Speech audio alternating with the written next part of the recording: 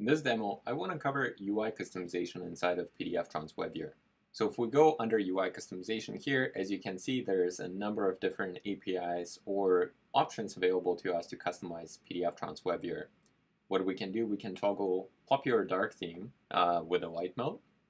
We can remove uh, different actions. For example, I want to remove download capability or printing capability inside of my viewer. Also, in this document right here, we can actually select the text inside of it. Uh, but maybe for security purposes, we want to disable text selection altogether.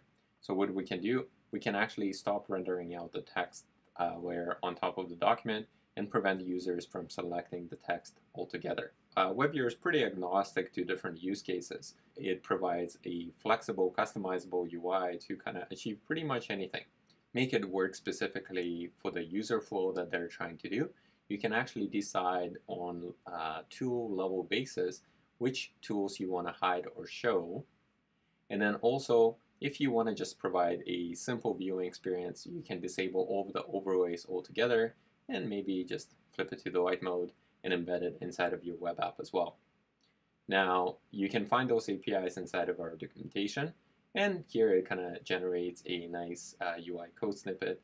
And as you can see that we actually provide an open source copy of our UI where you can take a look at how we've done each component. So I can go in, take a look at all of the different components available